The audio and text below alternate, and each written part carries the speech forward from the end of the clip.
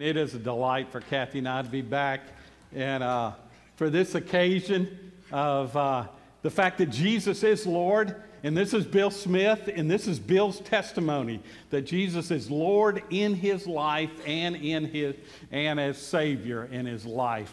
And so Bill told me, he said, Pastor Steve, remember I believed in the Lord a long time, but I can't remember I've ever been baptized. Natalie maybe willing, ready to share that, but I wanted to make that testimony to everybody today. So this is his wife, Natalie's going to share his testimony.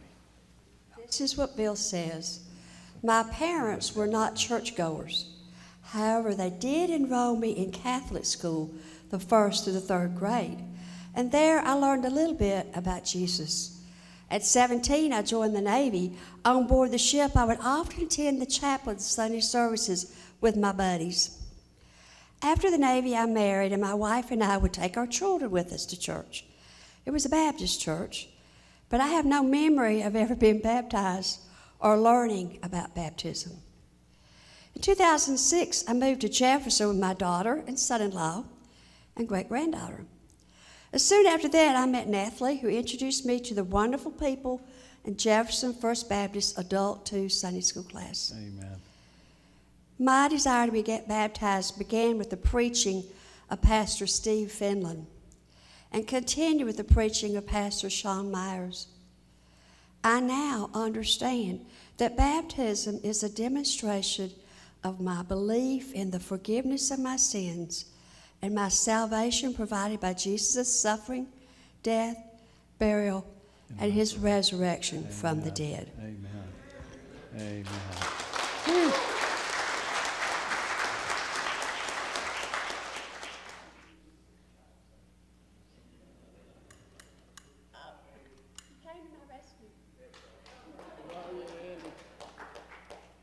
Amen.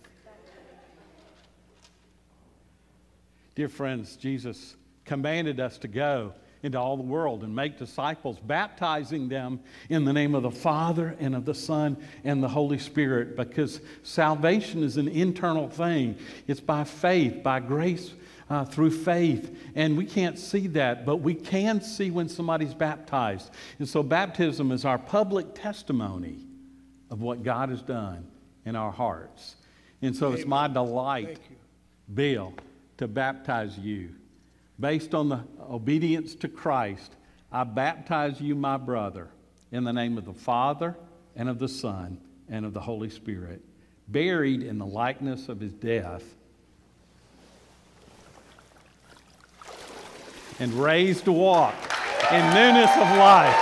Woo! Amen. Woo!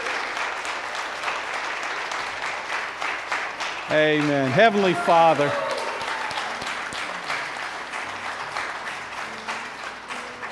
Heavenly Father, we are not here for us. We are here because you are here. We are here because you are working. You're always working, Father. And I thank you for the gift of your Son, Jesus Christ. And we wait here as we worship and encourage one another. We want you to continue to move. We wait for you because it's not in our power, but in your power that salvation comes. This is our prayer in Jesus' name. Amen.